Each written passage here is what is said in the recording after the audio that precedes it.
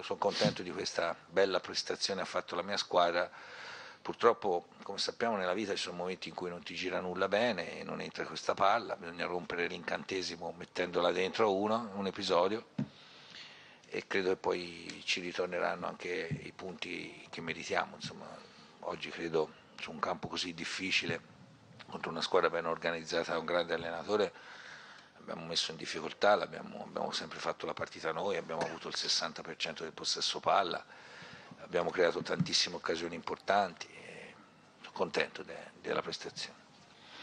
Ma io Mesto credo abbia fatto una bella partita. Quando si cambia un giocatore che sta andando bene, bisogna, a volte si può fare qualche danno perché rompere gli equilibri in un momento in cui tu hai il predominio della partita e stai giocando bene. Poi l'ho visto un po' stanco, ho provato negli ultimi minuti magari un guizzo di, di Zuniga, sì. potevo farlo 5 minuti prima, non ci sta, eh, magari.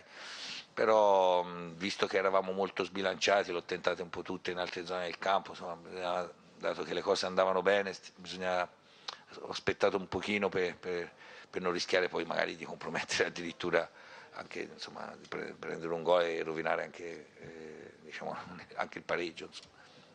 Juventus non ho la sfera di cristallo, non lo so. Io credo che se il Napoli gioca come oggi metterà in difficoltà anche la Juventus. Se entra in campo come è entrato il primo tempo contro la Lazio eh, faremo una brutta figura.